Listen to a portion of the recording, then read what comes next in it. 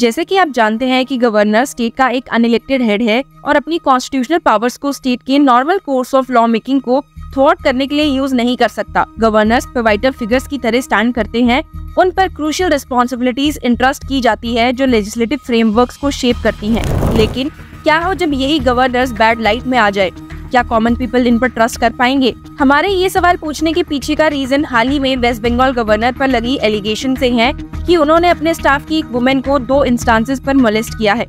Last update हमने आपको बताई थी कि वेस्ट बंगाल पुलिस ने राजभवन से तीन स्टाफ मेंबर्स को इंक्वायरी के लिए बुलाया था और सीसीटीवी फुटेज की भी मांग की थी, लेकिन उन्हें दोनों में से किसी से भी हेल्प नहीं मिली। क्यों?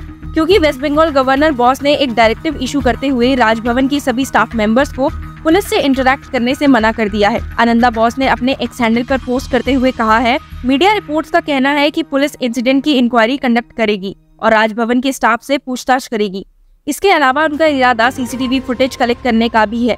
पर सवाल ये है कि क्या गवर्नर को मिली इम्यूनिटी के अंडर वो ऐसा कर सकते हैं? दो पेज के डायरेक्टिव में एंड में क्लियरली लिखा है that in the circumstances all staff and staff including part time part-time, temporary DRW and those engaged in Raj Bhavan in any manner are hereby directed to ignore any communication from the police in this respect and refrain from giving any statement online, offline, in person or over the phone or in any other manner. This will take immediate effect. Governor के इस action के बाद victim और West Bengal chief minister Mamata Banerjee दोनों को ही उनके action पर सवाल उठाते हुए देखा गया था पर अब गवर्नर बॉस ने फिर से कुछ ऐसा किया है जिसने उठते सभी सवालों को दबा दिया है राजभवन ने अपने एक्स हैंडल से एक स्टेटमेंट पोस्ट किया है टाइटल सच के सामने प्रोग्राम और कहा है कि गवर्नर ने ये programme mischievous and fabricated allegations by the police को काउंटर करने के लिए लॉन्च किया है। आपको बता दूँ कि गवर्नर ने डिक्लेयर किया है कि वो ये सीसीटीवी फुटेज पुलिस या दीदी यानी कि चीफ मिनिस्टर ममता बनर्जी को नहीं देंगे। एक नज़र उनके पोस्ट पर डालते हैं और फिर समझते हैं कि पोस्ट का कंटेंट क्या कहता है। तो इस स्टेटमेंट के सेकंड पैरा में डिक्लेयर किया गया है कि गवर्नर ने डिसाइड किया है कि वो सीसीटीवी फुटेज वेस्ट बंगाल के लोगों को दिखाएँगे पर ममता बनर्जी और कोलकाता पुलिस को नहीं आगे स्टेटमेंट में लिखा है कि जिसको भी सीसीटीवी फुटेज देखनी है वो लिखे गए ईमेल और नंबर पे मेल कर सकता है last line of the statement reads First 100 can see the footage inside Raj Bhavan on May 9, 2024 at 11:30 am. Governor का ये स्टेटमेंट ममता बनर्जी और विक्टम के उनके ऊपर कमेंट करने के बाद देखने को मिला है। West Bengal chief minister earlier said the governor misbehave with girl you ask me yesterday by my minister was talking about this I want to make it clear that there is not one I have receive thousand of such cases but I did not speak then but yesterday's incident was heart wrenching for me सिर्फ़ वही नहीं West Bengal governor के staff members को communication के लिए मना करने के बाद विक्टिम को भी पूछते हुए सुना गया if he is that innocent why he is escaping he is guilty of molesting me twice the truth will remain truth irrespective of whatever people think of me the point is that sir has got the courage to molest a very ordinary girl twice from that immunity आपको जानकारी तो होगी ही कि constitution के तहत governors और president को immunities grant की गई है। Under article 361 of the constitution उन्हें किसी भी एक्शन के लिए इंक्वायरी या अरेस्ट से इम्यून किया गया है। जब तक वो अपने ऑफ़िस में है और इसी इम्यूनिटी को वेस्ट बंगाल गवर्नर ने एलिगेशन लगने के बाद स्टेट भी किया था पर उनके इस कॉन्स्टिट्यूशनल इम्यूनिटी के पीछे छुटने पर भी लीडर्स ने सवाल किए हैं तृणमूल कांग्रेस लीडर सागरिका घोष ने क्या कहा है आइए सुनते हैं Why is the West Bengal Governor C.V. Ananda Bose hiding behind this constitutional immunity? Why does Mr. Ananda Bose not want to face a fair inquiry? The fact is, a young helpless woman asking for a job has been assaulted by him, according to her complaint, not once but twice. Sexually harassed not once but twice. This is her complaint. And she has made this complaint in a police station. So instead of hiding behind constitutional immunity, why does Mr. C.V. Ananda Bose not face the inquiry and uh, provide his side of the story? Why has he run away to Kerala? Why has the governor of Bengal run away to Kerala? And also, the governor of Bengal was quick to express his sympathies for the women of Sandesh Khali when they protested, then why is he not uh, showing the same sympathy for another woman, another helpless woman who has complained of sexual harassment?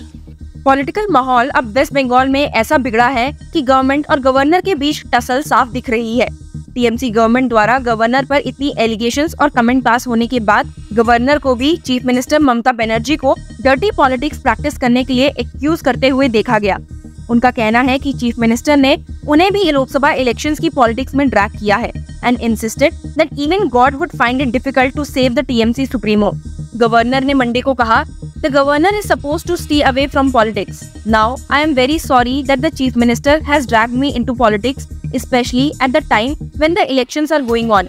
I told a lot of good works about the individual, Mamta Banerjee. I stick to that. I spoke about the Chief Minister, whom I always called my constitutional colleague. I stick to that. When I was asked repeatedly to speak, to speak about the politics of Mamta Banerjee, I always took the stand that her politics is not my cup of tea. I refuse to comment on that.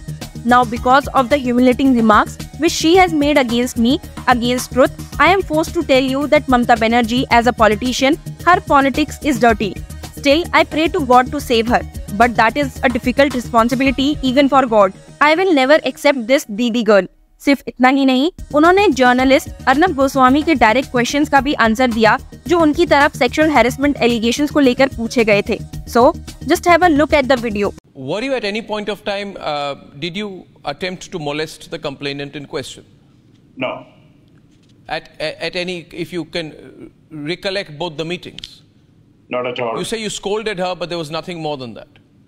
Nothing more than that. Why would you scold her? I mean, you, it, the scolding could have been done by. I made it very clear for not sending the petitions received in the peace room to the election commission, number one.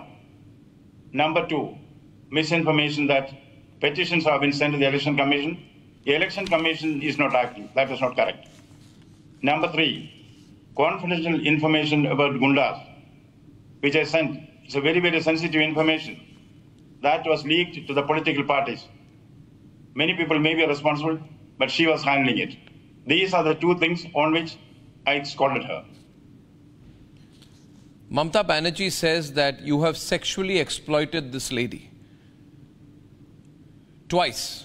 My, my relation with Mamta Banerjee was based on mutual respect. But from this moment, I'm lifting that respect. She doesn't deserve it. Any professional attack on me is welcome. Any political attack on me is welcome, not any personal attack on me. I try to guard the dignity of the office of governor. Mamta Banerjee, Chief Minister is also entitled for dignity.